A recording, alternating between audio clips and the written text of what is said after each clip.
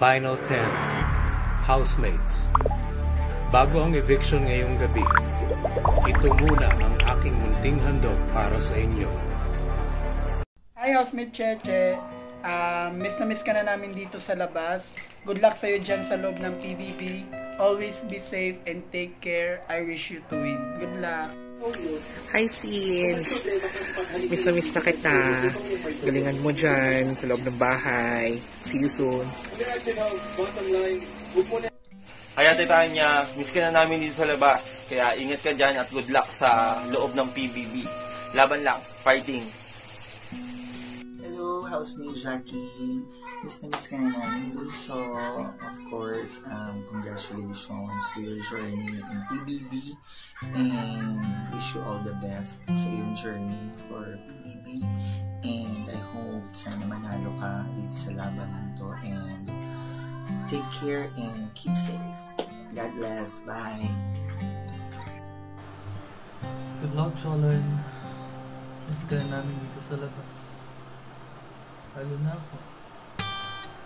Galingan mo dyan sa bahay ni Kuya, okay? Ingat ka palagi and sana ikaw yung manalo. I miss you. Always dito sa ni Kuya. I miss you so much. Galingan mo lahat para manalo ka. Thank you, bye.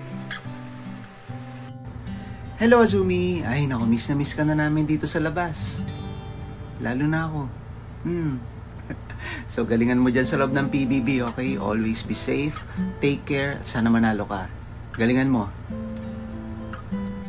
Kim, miss na miss ka na namin dito sa labas. Lalo na ako. Galingan mo dyan sa PBB ah. Sana manalo ka. Ingat ka lagi. Love you.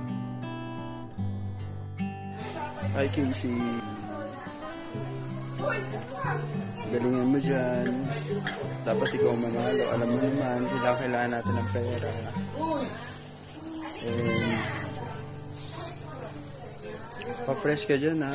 Mahagard ka na.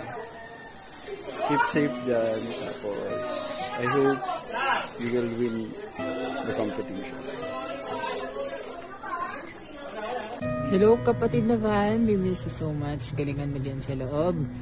At ah, alam naming mananalo ka. We trust in you. Galingan mo para sa pamilya. Kami na bahala dito sa negosyo sa labas. Huwag kang mag-alala. Huwag mo na. Mwah. Mwah.